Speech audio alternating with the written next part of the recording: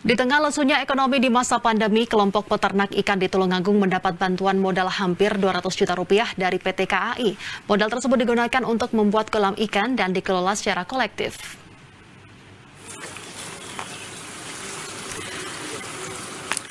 Bantuan modal ini diberikan kepada kelompok pembudidaya ikan Pokdakan Mutiara Barokah Desa Bendil Jawetan, Kecamatan Sumber Gempol, Tulungagung.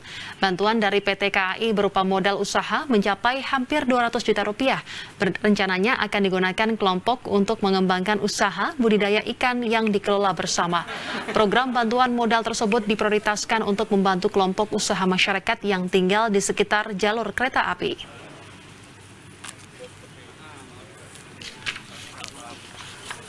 tanah agak sulit. Usaha kelompok biar menjadi lebih baik karena ini merupakan sarana yang sangat dibutuhkan oleh kelompok. Jumlah anggotanya berapa mas? Jumlah anggotanya sebenarnya ini ada sekitar 20 20. Rencananya untuk untuk apa? pembuatan kolam kolam kelompok ya. Untuk kelompok-kelompok ya. Iya. Jenis ikan yang dipelihara apa? Kalau kolam ikannya ini bervariasi. Ini yang paling banyak memang ikan hias. Jadi segala macam ikan hias di sini kan memang ada. Kalau dalam tujuh ini ya?